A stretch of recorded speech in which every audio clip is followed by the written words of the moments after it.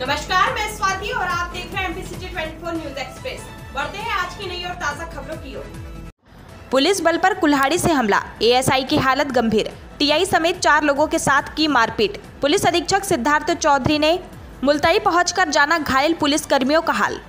बैतूल ज़िले के बोरदेही पुलिस थाने के मंडई गाँव में बीती रात एक मामले में पूछताछ के लिए पहुँचे पुलिस बल पर हमला हो गया। युवक के परिजनों ने टीआई समेत तीन अन्य पुलिस कर्मियों पर कुल्हाड़ी और अन्य हथियार से हमला कर दिया।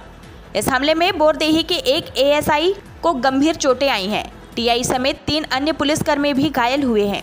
सभी को इलाज के लिए मुलतई के अस्पताल में भर्ती कराया गया है। सुबह एसपी सिद्धार्थ चौधरी ने मुलतई पहुंचकर घायल पुलिसकर्मियों का हाल जाना। सूत्रों से प्राप्त जानकारी के मुताबिक श्रीराम फाइनेंस कंपनी मुलताई द्वारा बोरदेही पुलिस को सूचना दी गई थी। मंडई निवासी मिथुन, पिता सिट्टी मगरदी द्वारा कंपनी से लोन लेकर अपने ट्रैक्टर थर्ड पार्टी को भेज दिया है। उसके द्वारा लोन किस्त नहीं चुकाई जा रही है और न ही वाहन से संबंधित जानकारी दी जा रही है।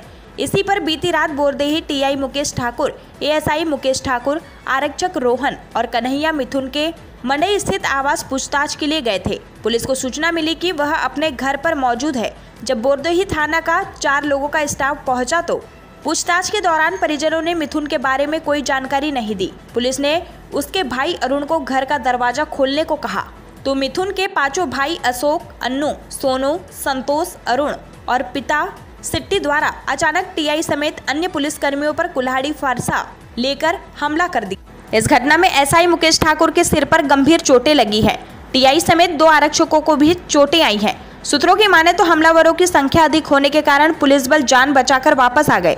टीआई ने घायल एसआई को रात में मुल्ताई थाना में भर्ती किया है। घटना की जानकारी मिलते ही उधर पुलिस ने हमला करने वाले लोगों की तलाश शुरू कर दी है। उन पर हत्या के प्रयास समेत शासकीय कार्य में बाधा और मारपीट के मामले दर्ज किए गए हैं। एमबीसी 24 न्यूज़ एक्सप्रेस बैतूल से जिला ब्यूरो चीफ संतोष प्रजापति की रिपोर्ट। मारपीट की गई। किनके द्वारा? मा, गाँव की है गोली अच्छा। कितने लोग थे आप पकड़ने गए थे तो? सात आठ लोग थे। आप सात आठ लोग गए थे? हम चार लोग थे। चार लोग। सभी के साथ मारपीट हुई? हाँ। अच्छा।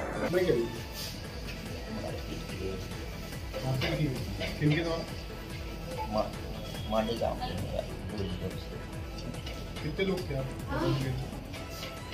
सात आठ लोग थे। आप सात आठ लोग गए चार लोग। सभी के साथ मारपीट हुई? हाँ। मिलते हैं अगली बार नई और ताज़ा खबरों के साथ। बने रहिए हमारे साथ MPC twenty four news express में। तब तक के लिए नमस्कार।